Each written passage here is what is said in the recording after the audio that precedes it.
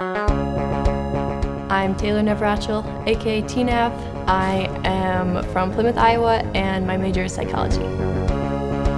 I chose uh, psychology because I really like learning about anything to do with the human body um, and especially the mind. It's really fun to learn about how the mind works.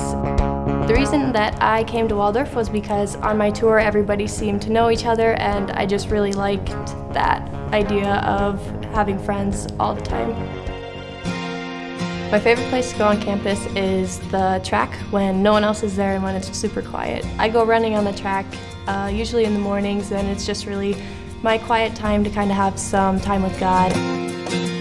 I have been involved in my faith since I was eight years old, so it's a really important part of my life and um, everything that I do, I try to give glory back to God.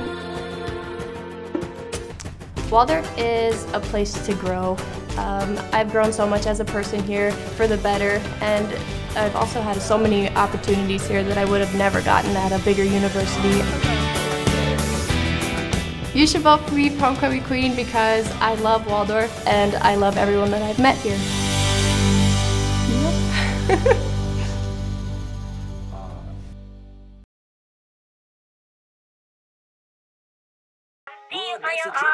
Uh, my name is Andrew Murley. I'm from Sac City, Iowa, and I'm a double major with criminal justice and psychology.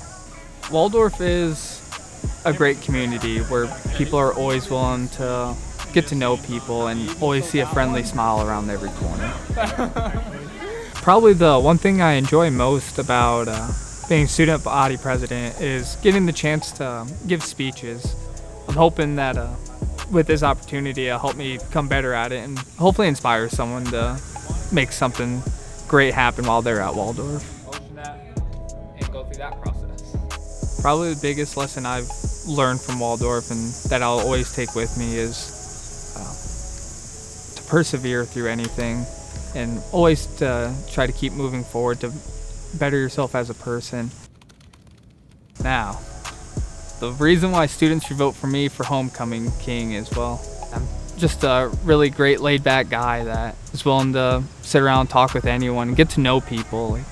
I know they always say don't trust the redhead, but today you can trust the redhead.